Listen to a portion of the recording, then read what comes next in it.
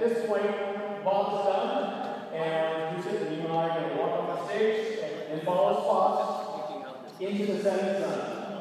The end. Rehearse.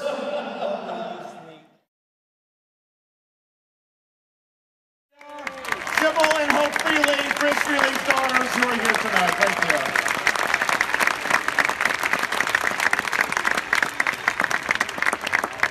So, it was with great, great, great excitement that we are here tonight, celebrating our official 25th anniversary with all of you.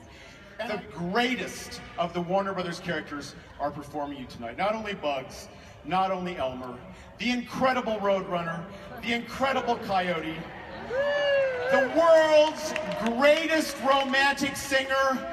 No, I'm not talking about Michael Bublé. I'm not talking about Josh Groban. You're going to see Porky Pig. No, wait. You're going to see Pepe Le Pew. So I actually think that's everybody. I don't think I've, I don't think I've left anybody out. There's, there's really nobody else that's gonna. pardon me, George. If you're gonna say my name, you're uh, gonna have to have me come out. Porky, that's really, that was a mistake. You're really not in the show tonight. And not on the show tonight. Eh, but I wore pants. Well, we, we cut your cartoons out just for this time. It's, you know, kosher. Yeah, cut my cartridge. So is this either the either the that's all, folks? Ladies and gentlemen, the, uh, the official voice of Porky Pig from Warner Brothers, the one and the only, Bob Bergen.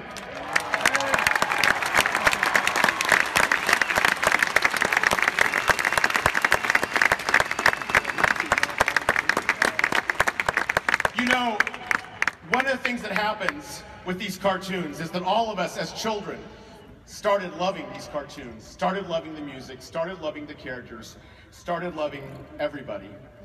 And then we go off on our lives.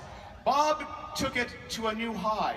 Bob, what, what happened when you were a, a young man and you loved these cartoons? When I was five years old, I told my mom when I grew up I want to be Porky Pig. And, and what did she say to you? My mother said, honey, you can't be Porky Pig, you're Jewish. but we used to eat bacon. Oh, But you did it anyway. we do, oh yeah, absolutely. So, all right, I wanted to be Porky Pig. My da- I was lucky that my dad moved the, the family to LA when I was 14. So I thought, well, the best way to become Porky Pig is to call Mel Blanc and tell him I'm here and I'm happy to take over his job if he would like to retire, which I thought was very generous. So no, nobody would actually pick up the phone and, and call Mel Blanc, right? I had a stack of white page phone books from Malibu to Burbank, and I called every Blanc in the book. Now, for those of you in the audience who may not understand this, there used to be these things called phone books.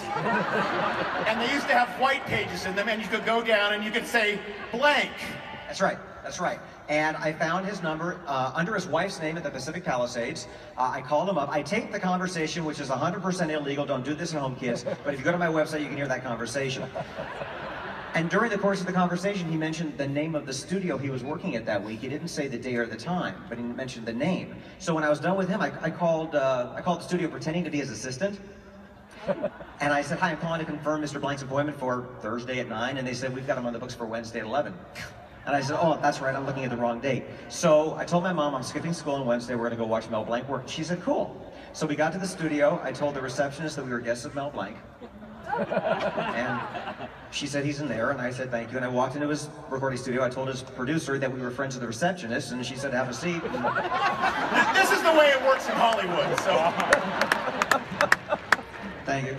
Uh, and I, I studied acting, I studied voiceover, and I was in the business at the time that Warner Brothers held auditions. and and as the rest, as they say, the, the, the rest the rest is history.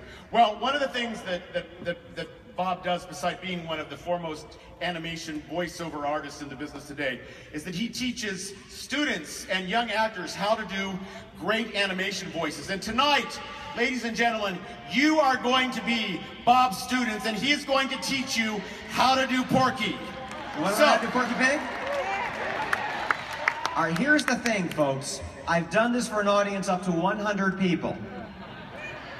This is a little bit bigger, so I need I need you to cooperate, and I need unison. But by the time this is over, we will have 17,000 Porky Pigs in this audience. All right? First of all, every word is the exact same formula. Everybody say the on the count of three, say the word boy. One, two, three. Boy. They did that really well. They did that They very well. Okay, now I'm going to teach you to Porky Boy up, okay? So it helps if you count it out with your fingers. If you don't do this, you're going to go crazy, all right? So go eh, eba, eba bit. This is good. Eba bit eh. Eba bit eh boy. Thank you. Okay, we're doing one. Watch, watch me, and then you're gonna repeat. Eba bit eh boy. The musicians are doing it too. It's kind of cool. Okay, so Wrinkle your nose so it sounds kind of nasal, all right? And go, uh, watch me first, all right? Eh, ba, bit, eh, boy. good. On the th- we're gonna do it again on the third sound. Push it a little bit more. Eh, ba, bit, eh, boy. Okay, great. I'm gonna do another word. Ready? Uh, the word uh, catch. I'll, I'll do it first. Ca, catch. One more word. Dog. Dog. Perfect. Okay, now I'm gonna do the full sentence. When I'm done, you repeat. Ready? The boy played a catch with a dog. Go.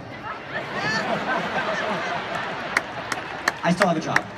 You still have a job. Bob Bergen. Thanks, guys. And thank you, Bob Bergen.